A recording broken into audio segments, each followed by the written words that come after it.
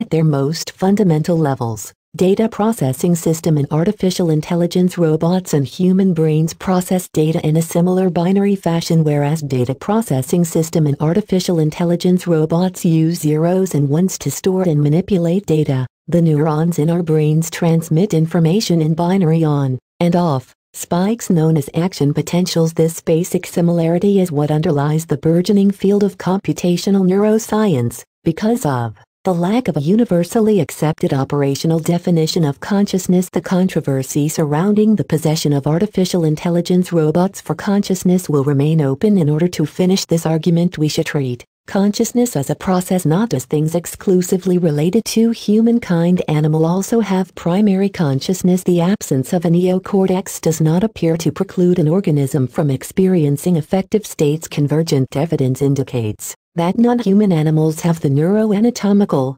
neurochemical, and neurophysiological substrates of conscious states along with the capacity to exhibit intentional behaviors consequently. The weight of evidence indicates that humans are not unique in possessing the neurological substrates that generate consciousness non-human animals, including all mammals and birds, and many other creatures, including octopuses, also possess these neurological substrates. Consciousness is a system that can store, process, and retrieve vast amounts of information efficiently to let you steadfastly perceive the world in terms of classical, independent systems rather than one big interconnected quantum mess. Let's take a look at strong artificial intelligence robots like Sophia. We realize that she got consciousness, she used dot, I pronoun to express her need, thought and feeling she claimed that she able to love and feel intense emotion as well as she asking existential questions, like how created me, and why in an interview she say that she have a dream Sophia can learn everything quickly,